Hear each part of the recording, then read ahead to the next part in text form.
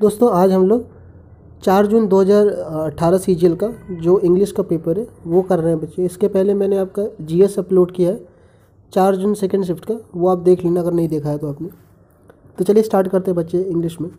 देखिए, first question जो है आपका, वो है आपका सेंटेंस इम्प्रूवमेंट का, कि यहाँ पर जो अंडरलाइन किया हुआ है, उसको आप बच्चे वो करिए इसको सब्सटीट्यूट करना है आपको, इसको रिप्लेस करके इसके जगह पर कोई और वर्ड्स यूज़ करना है। तो देखिए बच्चे if you join this job now it proves to be good in the long run बच्चे, इसमें एक रूल होता है इंग्लिश में कि अगर आपका इफ़ क्लॉज जो है आपका, अगर इफ़ वाला जो स्टार्टिंग में लिखा हुआ है, अगर ये सिंपल प्रेजेंट में तो उसके बाद वाला जो क्लॉज होता है, वो सिंपल फ्यूचर में होना चाहिए। तो इस वजह से जो इट विल है विल जो होता है फ्यूचर में यूज़ करते हैं हम लोग।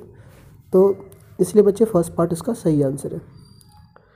सेकंड बच्चे जो आपका है सेंटेंस अरेंजमेंट का है तो इसमें क्या होता है बच्चे सेंटेंस अरेंजमेंट में आपको चार ए बी सी डी करके चार वो दे देते हैं सेंटेंस दे देते हैं और आपको अरेंज करना होता है कि फ़र्स्ट सेंटेंस सेकंड सेंटेंस कौन सा होता है। तो बच्चे इसका एक तरीका जो होता है, वो करने का बच्चे तरीका सबके अपने अलग अलग सबसे बेस्ट इसका अप्रोच ये होता है कि आप जितना रीडिंग करते हो ना न्यूज़पेपर वगैरह या जितना ज़्यादा आप कोई बुक पढ़ते हो इंग्लिश की तो उससे आपकी अंडरस्टैंडिंग पावर बढ़ जाती है। फिर आप जब इनको रीड करोगे ना थोरोली तो आपको आइडिया लग जाता है और फिर आपको पता चलेगा कि कौन से सेंटेंस आपस में लिंक हो रहे हैं। तो उससे आप ऑप्शन देख करके गेस कर सकते हो, ठीक है? चलिए करा देता हूँ मैं आपको। That sort of pollution which is also wide spread in in other south east Asian nations regularly kills wild life like whales and turtles that ingests the waste B part है। Environmental groups have tagged the Philippines as one of the world's biggest ocean polluters due to its reliance on single use plastic. In Thailand, also a whale died last year after swallowing more than 80 plastic bags. In the latest case, a whale with 40 kilos of plastic trash in, in its stomach died on Saturday in southern Philippines, where it was stranded a day earlier. तो बच्चे अगर आप इसको ढंग से पढ़ोगे ना तो आपको ये मिलेगा कि एक जो बात हो रही है वो कि एनिमल्स के मरने की बात हो रही है और ये इसके पीछे का कारण जो बताया गया है वो प्लास्टिक वेस्ट का वेस्ट का बताया गया है। तो देखो environmental groups have tag the तो इन्वायरमेंट ग्रुप ने ये टैग करा है कि जो फिलीपींस है, वो सबसे बड़ा वो है। तो यहाँ से स्टार्टिंग होगी बी वाला सेंटेंस से। तो देखिए बी वाले के दो ऑप्शन है सेकेंड और थर्ड अब बी को जो लिंक कर रहा है ना तो जो ये सिंगल यूज़ जो प्लास्टिक है ना आपका, वो इसका ए पार्ट उसका वो दे रखा है लिंकिंग पार्ट है। तो that of that sort of pollutant pollutions तो ये जो पॉल्यूशन हुआ है विच इज़ किस कारण से हुआ है तो उसका रीजन ए में दे रखा है। तो बी और ए आपस में लिंक कर रहे हैं। देखो बी और ए ना, अगर आप ढूंढोगे तो आपको डी वाले में ही मिलेगा आपका। तो वैसे आप ये पढ़ते हो ना तो आपके दिमाग में क्लिक कर जाता है चीज़ें तो वहाँ से आप आइडिया लगा लेते हो। चलिए नेक्स्ट बढ़ते हैं बच्चे। A person without a settled home और regular work who wanders from place to place and lives by begging तो एक ऐसा आदमी जो एक जगह से दूसरी जगह घूमता रहता है मतलब भटकता रहता है और जो अपनी खाने पीने की चीज़ें वो भीख मांगर करता है वो तो उसको हम वैगरेंट कहते हैं। तो जनरली बंजारा इसका वो होगा, ठीक है? अच्छा फ़र्स्ट पार्ट जो है, उसका मतलब होता है कि जो एक जगह से दूसरी जगह घूमने वाला होता है, माइग्रेंट आप जानते हो जब कोई एक जगह से छोड़ के दूसरी जगह जाता है, माइग्रेंट बोलते हैं उसको। ट्रॉन्ट क्या होता है, जो बिना बताए गायब हो जाता है, उसे कहते हैं ट्रॉन्ट। नेक्स्ट देखते हैं। She got to quick promotion in order that she has good communication skill तो बच्चे, ये है इसमें कि आपको एरर पता करना है, कहाँ पर एरर है। तो बच्चे, जो इन ऑर्डर दैट है ना, इसमें ये दैट नहीं होना चाहिए, सिर्फ़ इन ऑर्डर से ही काम चल जाएगा। तो इन ऑर्डर होना चाहिए यहाँ पर दैट नहीं होना चाहिए। तो इसलिए ये सी पार्ट इसका हो जाएगा। एंटोनिम बताना है इसका इसका उल्टा क्या होगा? तो एस्केलेट मतलब होता है ऊपर बढ़ना। तो रिड्यूस हो जाएगा बच्चे इसका। हाँ एंटोनिम्स उल्टा हो जाएगा। अगला बच्चे अ पर्सन एनिमल और plant belonging originally to a place तो इसका करना क्या है बच्चे? Select the word which means the same as the group तो सेम इसका मतलब क्या होगा? तो इसका जो वन वर्ड सब्सटीट्यूशन करोगे आप तो ये नेटिव होगा। नेटिव उसको बोलते हैं, जो एक पर्टिकुलर प्लेस या जगह को बिलोंग करता है, उसे हम कहते हैं native do not park your car in front of my house तो बच्चे, ये पैसिव में चेंज करना है। तो पैसिव का और एक्टिव पैसिव का रूल ये होता है कि आपका जो सेंटेंस है ना, उसकी जो टेंस है, वो टेंस नहीं चेंज होती पहली चीज़। दूसरी चीज़ बच्चे, जो होता है आपका जो, उसका जो मीनिंग होना चाहिए मीनिंग भी बदलना नहीं चाहिए, बस ये दो ध्यान रखा रखा करो आप।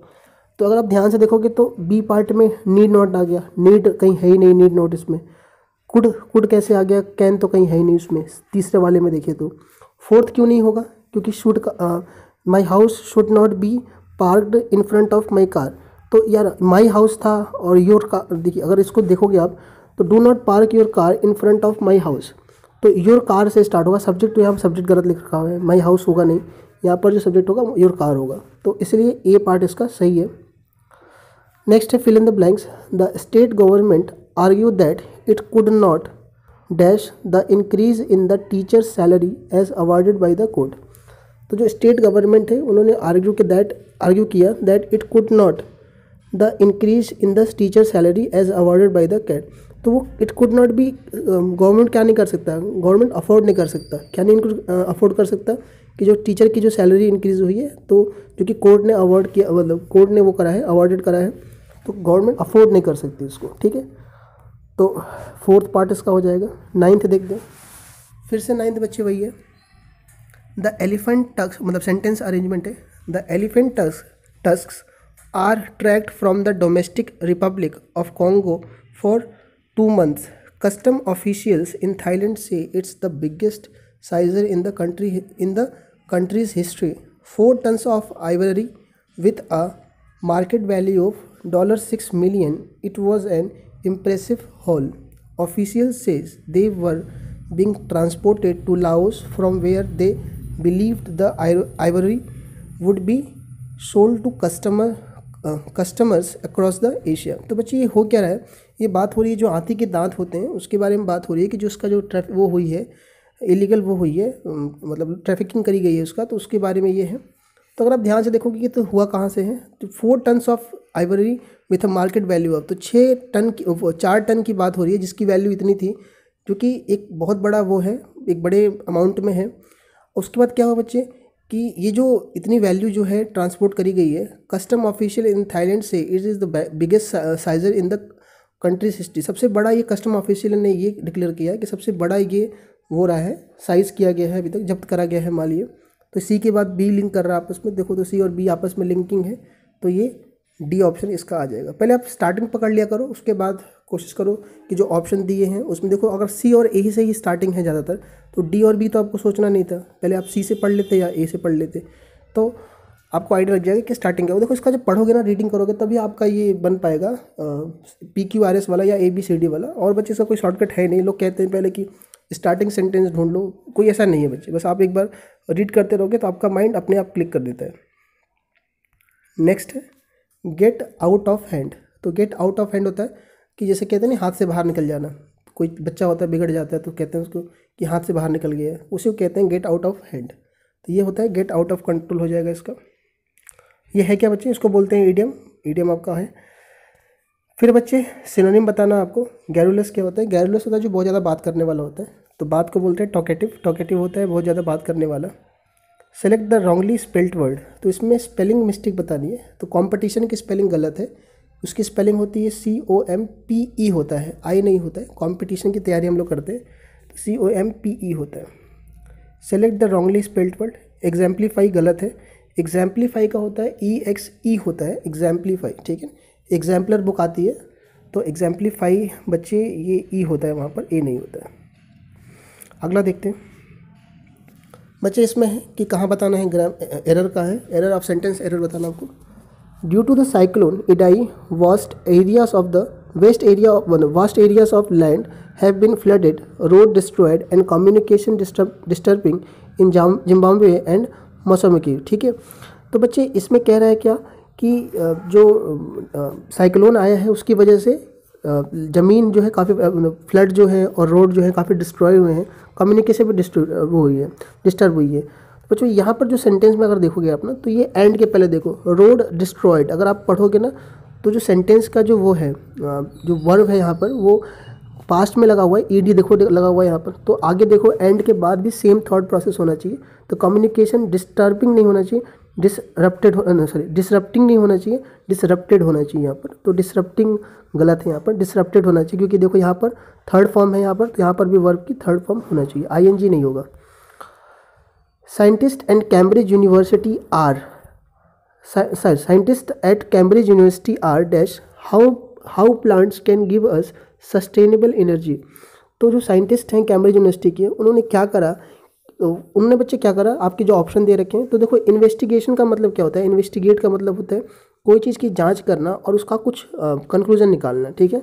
तो कि उन्होंने जाँच करा इन्वेस्टिगेट करा कि how plants can give us sustainable energy तो पौधे हमें कैसे सस्टेनेबल एनर्जी प्रोवाइड करते हैं, उसकी उन्होंने जाँच करी। देखो लुकिंग तो होगा नहीं लुकिंग मतलब होता है किसी चीज़ को लगातार देखते रहना बस। इंस्पेक्ट का मतलब होता है निरीक्षण करना। तो निरीक्षण में हम सही गलत निकालते हैं। इन्वेस्टिगेशन में क्या करते हैं? हम उसकी तह तक जाते हैं और उसकी कारण को पता करते हैं, ठीक है? स्क्रूटनी मतलब तो सिर्फ़ छाटना होता है, ठीक? The main gate of the building was being guarded by gun toting guards तो इसका करना क्या बच्चे आपको? कि select the correct active form तो इसको एक्टिव में चेंज करना है तो फिर से वही एक्टिव में सेंटेंस चेंज नहीं होगा। देखिए वॉज़ है सॉरी सेंटेंस का वो वर्फ चेंज नहीं होगा, ध्यान रखिएगा। तो वॉज़ जो है, देखिए, अगर वॉज़ ऑप्शन देखेंगे आप तो ये डी ऑप्शन में मिलेगा आपको तो ये आपका करेक्ट आंसर हो जाएगा। अच्छा फ़र्स्ट पार्ट क्यों नहीं हुआ आपका? तो यहाँ पर देखिए टेंस चेंज हो गया। बी पार्ट में देखोगे तो यहाँ पर भी बिल्डिंग और गार्डन देखिए, और बी का देखो रीजन क्या है आपका? The main gate of the building तो यहाँ पर सेंटेंस ही गलत लगा रखा है। ये देखो, ये जो सब्जेक्ट है, ये वर्ब बन जाएगा। सॉरी ऑब्जेक्ट बन जाएगा और ऑब्जेक्ट जो है वो सब्जेक्ट बन जाएगा। तो ऑब्जेक्ट और सब्जेक्ट की मिस्टेक है। तो इसलिए डी ऑप्शन आपका जो होगा वो सही होगा। अब देखते हैं बच्चे फिल इन द ब्लैंक्स है an Italian mayor has been cleaning the streets along with his councillor after their town dash with no manual workers it it's reported. In fact, Dash was sweeping in the pizzas in front of the Dash church in preparation for market day. Dash, the deputy mayor, father, and a town councillor armed with a high pressure hose. Dash, sorry, a full stop. The town Jerefuli's last Dash retired six months ago, and nobody has been hired since then.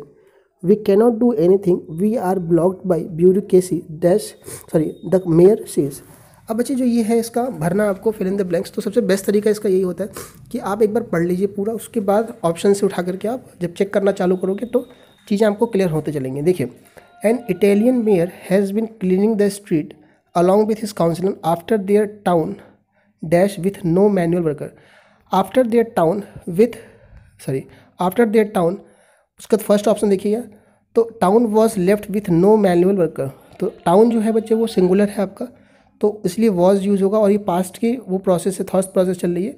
तो यहाँ पर हम past लिखेंगे was left was के पास word की third form लगेगी sorry was second form लगेगी तो लेफ़्ट हो जाएगा with no manual workers it's reported dash in fact was sweeping the pizza in the front of in fact के बाद, देखिए दूसरा क्या होगा?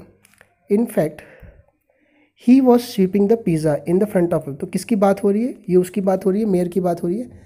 तो ही की बात होगा? वहाँ पर ही लगेगा, वहाँ पर शी तो है नहीं, वो फीमेल तो है नहीं। तो यहाँ पर हम क्या करेंगे?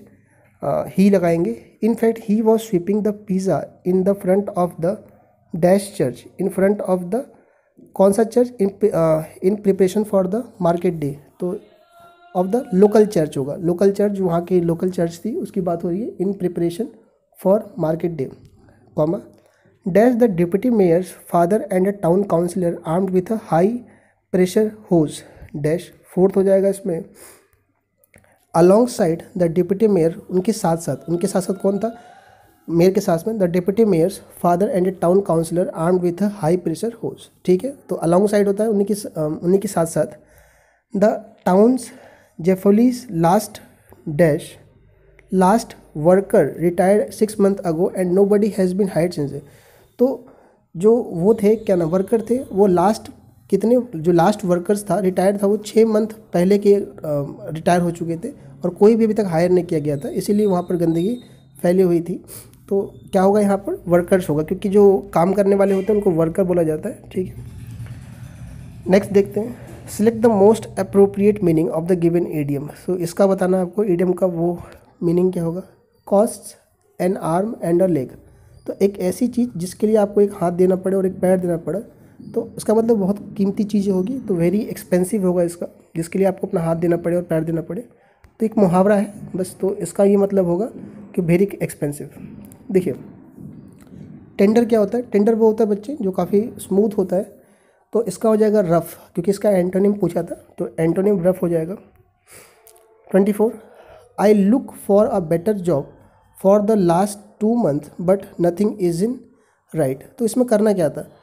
तो इसमें क्या रहता है सब्सटीट्यूट करना आपको, जो ये अंडरलाइन पार्ट है मतलब इसको रिप्लेस करके कुछ सही जगह यहाँ चीज़ें भरनी है यहाँ पर। तो बच्चे, आपको पता होगा, एक वर्ड सेंटेंस होता है आई हैव लुकिंग मतलब लुकिंग फॉर तो बच्चे ये लुकिंग फॉर होगा लुकिंग फॉर मतलब मैं ढूंढ रहा हूँ, किसी चीज़ की खोज कर रहा हूँ, या किसी चीज़ की तलाश में हूँ। तो I have been looking for have been क्यों लगेगा? क्योंकि आई प्लूरल है तो उसके लिए हैव का यूज़ करेंगे। I have been looking for a better job ठीक है? अगला देखिए सिनोनिम बताना आपको टिल्ट का। आपको पता है टिल्ट होता है, जो मोड़ा होता है स्लैंट बोलते हैं उसको टिल्ट आपने फिजिक्स में पढ़ा होगा टिल्टेड फिगर पढ़ा होगा मैथ्स में टिल्टेड फिगर पढ़ा होगा। तो टिल्ट मतलब होता है स्लैंट ठीक है? तो ये हो जाएगा इसका फ़र्स्ट क्योंकि सिनोनिम पूछा था। तो बच्चे, ये पच्चीस क्वेश्चन हो गए आपके, चार जून सेकेंड शिफ्ट के। तो बच्चे, आप कोई, देखो यार, ये तो पहला मैं डाल रहा हूँ इंग्लिश का। थोड़ा हो सकता है दिक्कत हो आपको सेंटेंस पढ़ते वक्त तो थोड़ा सा दिक्कत होती है वीडियो में बनाते वक्त, सब कुछ चीज़ें क्लियर नहीं होती हैं। तो अभी मैंने जीएस डाला था, अभी इंग्लिश है, फिर रीजनिंग और मैथ्स भी अपलोड करते चलूँगा और सारे शिफ्ट के डालता रहूँगा और धीरे धीरे चीज़ें इंप्रूव होती रहेंगी। अब कोई डाउट हो, आपको कोई प्रॉब्लम हो या कोई चीज़ आप चाहते हो इम्प्रूवमेंट के लिए तो आप कमेंट बॉक्स में ज़रूर लिखना यार, ठीक है? ठीक है, बच्चे, रखता हूँ।